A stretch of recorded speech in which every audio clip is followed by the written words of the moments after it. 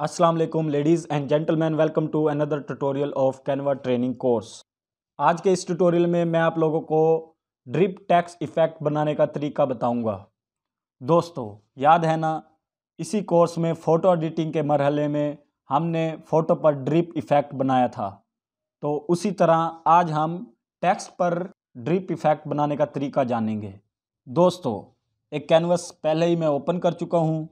तो मैं टैक्स के इस मॉड्यूल में आकर इस हेडिंग को ऐड कर लेता हूँ और यहाँ पर ड्रिप लिख लेता हूँ और इसे बड़ा करके इसकी पोजीशन को मिडल एंड सेंटर कर लेता हूँ।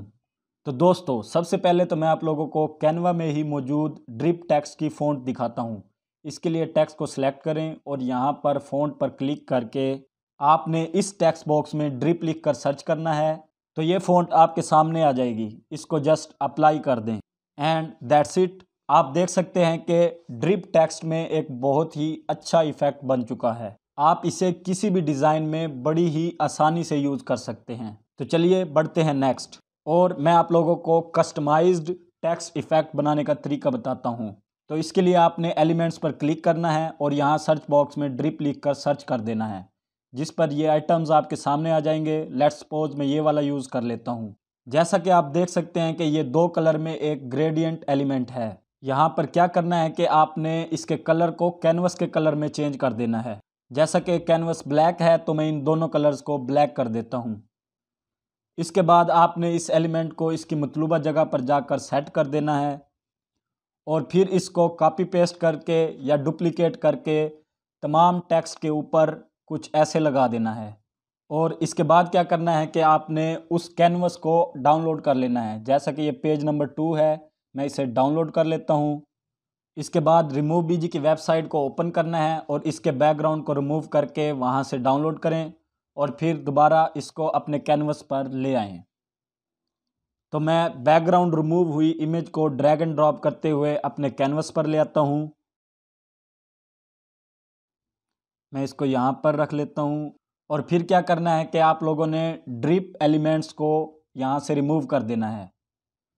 और इसके बाद जिस कलर में आप टेक्स्ट को शेड देना चाहते हैं, उस कलर को सिलेक्ट कर लें।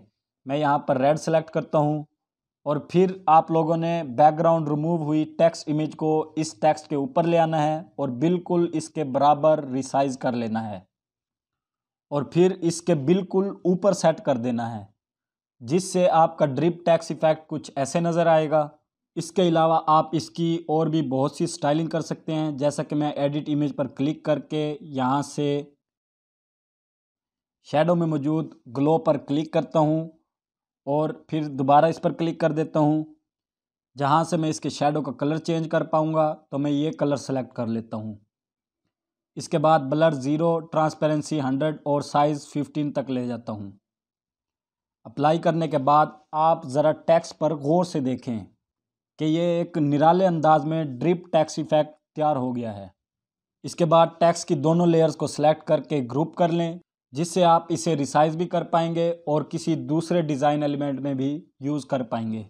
तो दोस्तों, कैसी लगी ये वीडियो? राय का इजहार आप लोगों ने कमेंट करके करना है। इसके साथ साथ वीडियो को लाइक और शेयर भी करना है और चैनल को सब्सक्राइब भी। इसके साथ ही मैं इजाज़त चाहता हूँ। मिलते हैं नेक्स्ट वीडियो में। तब तक के लिए अल्लाह हाफिज़।